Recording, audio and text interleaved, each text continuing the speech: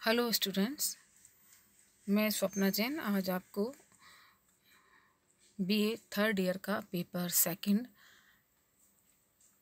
भारत में स्थानीय प्रशासन के सिलेबस के बारे में बताऊँगी।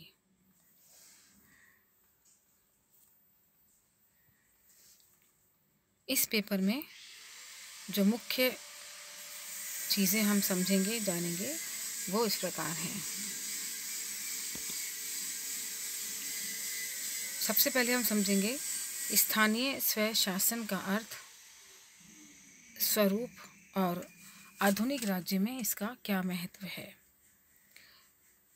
इस चैप्टर में हम स्थानीय शासन और स्वायत्त शासन में क्या अंतर है, परिभाषा, इसकी प्रकृति और लक्षण के बारे में जानकारी ग्रहण करेंगे। स्थानीय स्वय शासन की आवश्यकता और महत्व आधुनिक समाज में क्या है, इसके बारे में भी जानकारी ग्रहण करेंगे। उसके बाद हम पढ़ेंगे भारत में स्थानीय स्वायत्त शासन की संस्थाओं का विकास। प्राचीन भारत में स्थानीय स्वायत्त शासन संस्थाओं का विकास कैसे हुआ? विभिन्न कालखंडों में इसके, इसमें क्या क्या डेवलपमेंट हुए? संविधान के कुछ प्रमुख अधिनियम जो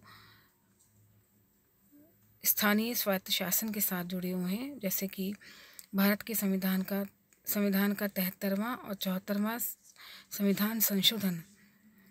ये अधिनियम की प्रमुख विशेषताओं को बताएगा।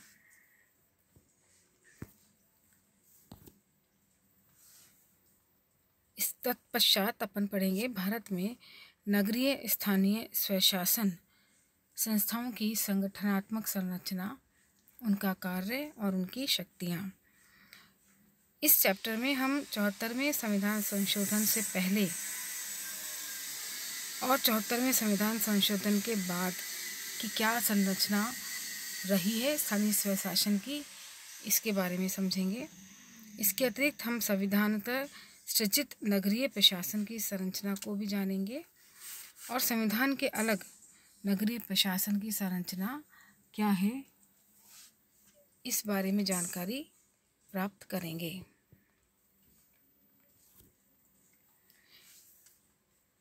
नेक्स्ट हम पढ़ेंगे महानगरों का स्थानीय प्रशासन और उसके अंतर्गत नगर निगम और उसकी स्वायत्तता और उत्तरदायित्व की समस्या। इस चैप्टर में हम नगर निगम और नगर परिषद के अंतर को जानेंगे। नगर निगम कैसे बनाए जाते हैं, इनकी स्थापना का क्या मापदंड है, इनका आंतरिक संगठन कैसा होता है परिषद, मेयर उप मेयर नगर आयुक्त समितियाँ, नगर निगम के कार्य, नगर निगम की वित्तीय व्यवस्था, नगर निगम पर नियंत्रण, स्वायत्तता और उत्तरदायित्व की समस्या। स्वायत्तता का क्या अर्थ होता है? इसकी आवश्यकता क्यों पड़ती है? और इसकी क्या उपयोगिता है? और इसकी क्या मर्यादा है? इन सारी चीज़ों के बारे में हम इस विषय पर समझेंगे, इस विषय को पढ़ेंगे।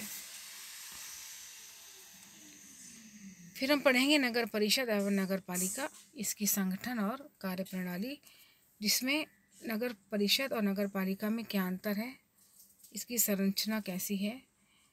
इसमें परिषद अध्यक्ष, उपाध्यक्ष, आयुक्त, अधिशासी अधिकारी, उनकी समितियाँ, उनकी शक्तियाँ, उनके कार्य, इन सब की जानकारी ग्रहण करेंगे।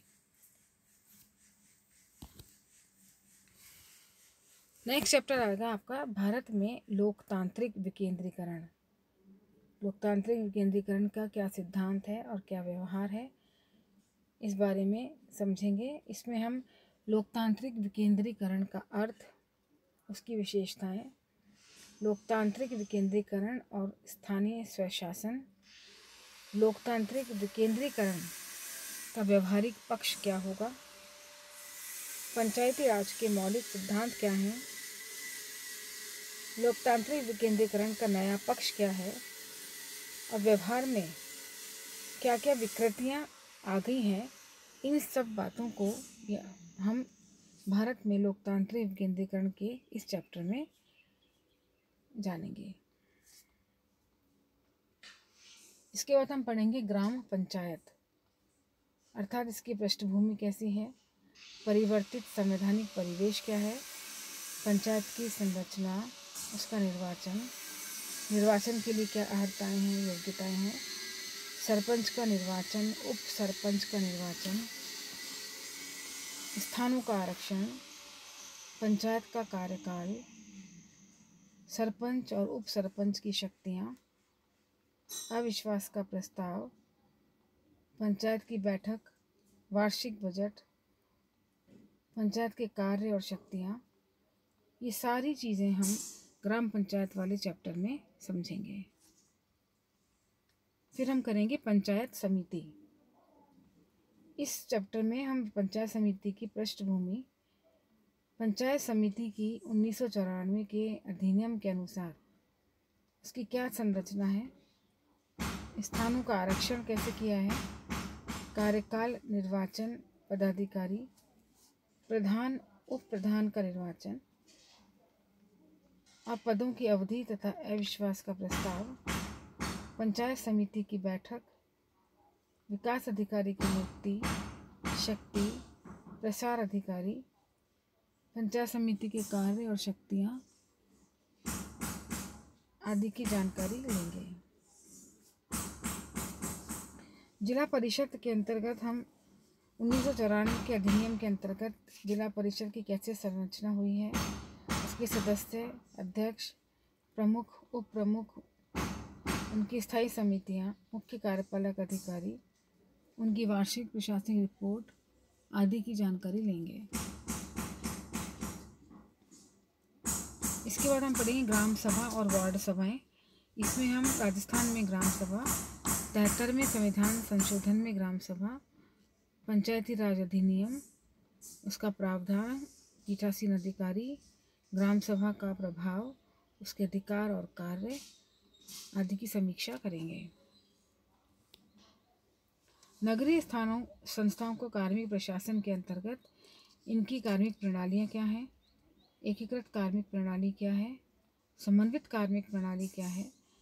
राजस्थान में नगरीय संस्थाओं में कार्मिक प्रशासन के अंतर्गत कार्मिकों की भर्ती, पदोन्नति, स्थानांतरण, अस्थायी भर्ती, प्रशिक्षण, वेतनमान, कार्मिक प्रशासन की समीक्षा, समस्याएँ और सुझाव की जानकारी लेंगे। इसके बाद होगा पंचायती राज संस्थाओं का कार्मिक प्रशासन। इसमें भी हम इनके बारे में समझेंगे कि इनका चयन कैसे होता है, इनका प्रशिक्षण कैसे होता है राजस्थान पंचायती राज अधिनियम उन्नीस सौ चौरानवे के अंतर्गत कार्मिक प्रशासन, सेवा चयन आयोग कैसे कार्य करता है